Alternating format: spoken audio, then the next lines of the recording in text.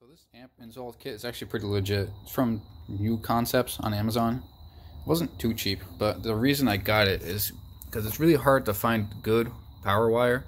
This one, if you can see it, it says OFC, oxygen-free copper, instead of the copper clad aluminum, which will break down over time. Plus the jacket isn't 90% of the wire, so it's like the gauge is accurate, hopefully. But the ground is also oxygen-free copper. It comes with a wire loom, the inline fuse, the actual fuse. It's a 60 amp. I'm probably going to try to find a smaller one because that's excessive anyway. But it comes with all the ring terminals and the spades. Two different, a plastic grommet and a rubber grommet for passing through the body, the power wire. I mean, it's pretty decent. We'll see how it actually works, but so far it looks pretty good. Right, so we got to get the battery wires through somewhere underneath the truck, up, I don't know where they had it. It's going to be in the glove box of the amp, so somewhere over here. And I don't really know where I'm going to run the wires yet. Plus, I want to relocate these wires, so I'll probably do that at the same time, bring them both up together. Yeah. Got the wires that were sitting right there on top of the tunnel tucked in. You see there's a grommet there, and on the other side, behind the uh, heater core pipes, they tuck in, go underneath the tunnel. They come out, and we're over here. I had to extend some of them so that I have enough slack to go around. Comes inside the, uh, the hollow section of the body right here, and pops out back there, nice and clean. So you won't see any wires once I get the uh, the cover back on that bad boy, which is awesome. Got the power ran for the amp. Comes up from the bottom. Again, nothing in the footwells. Um, next is to figure out how to get that little amp to sit in the glove box without just bouncing around, which is complicated a little bit because the glove box has weird curvature to it. But I gotta figure out a way to mount it, make it somewhat removable in case I need to pull the glove box out to get to the air box. So that's what we're gonna work on now. Got the dash back in after we I ran all the speaker wires and power wires and everything that I need for the radio and the amplifier. And I put the harness for the new radio, spliced into the old one. Took a little tip from oh, Jimmy Oaks, thanks buddy. Used the connector out of the old radio, just kind of unsoldered it and put it on the original clip so that we're not cutting into any wires just in case. So everything's all set here, but now I gotta mock up the radio. And even though it's a single DIN unit, the way that the old one works is that it's mounted to like this inner structure before the cover goes on. And of course the radio is too big for the hole. So I either gotta shave it or, I don't know, get creative. So in the meantime, I took all these little body clips off of this cover so I can keep fitting it to try to get this alignment right. And we gotta somehow get this faceplate, which of course is not just like a trim ring, the whole faceplate is one piece. Gotta either trim it down or find a way to get it to fit behind that part of the dash. Probably just gonna cut it. It was only like a $15 radio anyway. Screw it.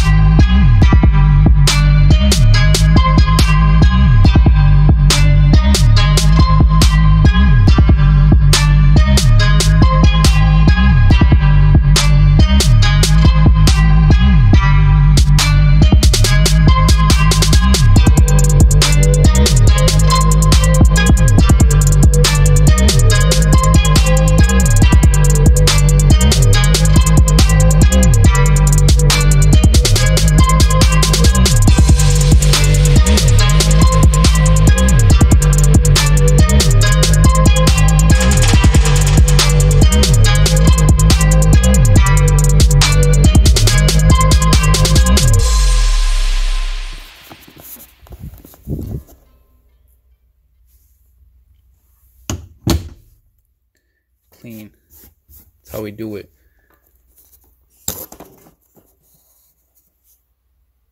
Got the dash back in after we I ran all the speaker wires and power wires and everything that I need for the radio and the amplifier. And I put the harness for the new radio, spliced into the old one. Took a little tip from oh, Jimmy Oaks, thanks buddy. Used the connector out of the old radio, just kind of unsoldered it and put it on the original clip so that we're not cutting into any wires, just in case.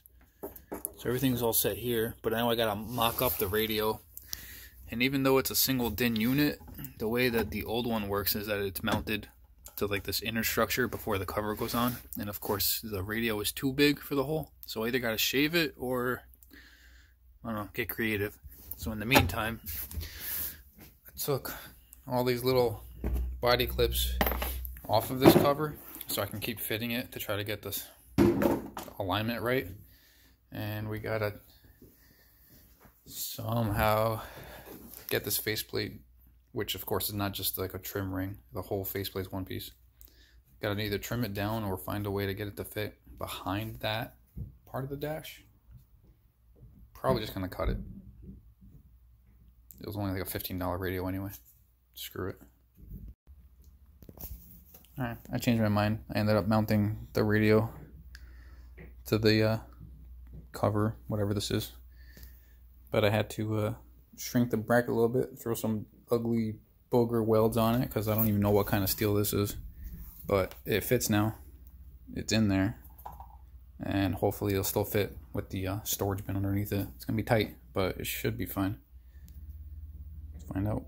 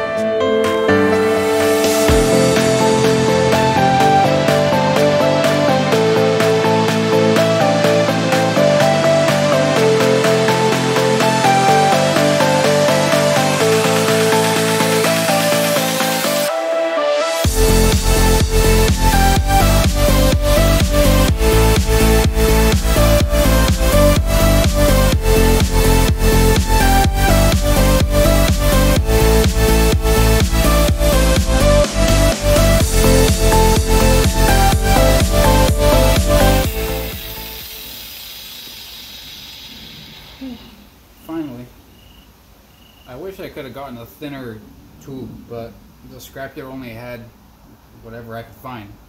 The only 4 inch OD tube I could find was 5 16 wall. Thing's freaking massive. So much for weight savings. But it'll get the job done, and it's going to be strong, so I don't have to worry about ripping my steering wheel off. That's always a plus. I mean, it looks straight. It should be fine. Little warm though. Let that cool off. Alright, so working on the steering hub. I cut the piece as straight as I could. It came out pretty good. Uh, wedged the old steering wheel center. There's the wheel. Center piece with the splines and all that in there. Trying to get it level so that when the wheel's spinning, it's not like wobbling. So I got I'll line that up a little bit. Right there, stick a nut on it.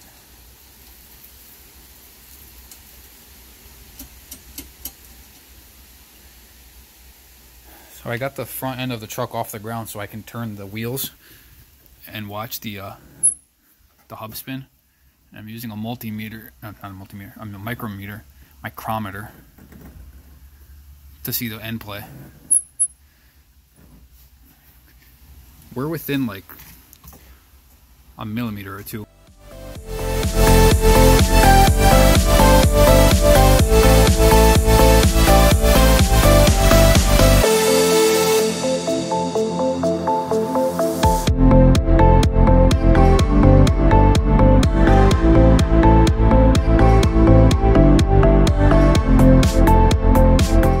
so I'm fitting up my homemade steering hub.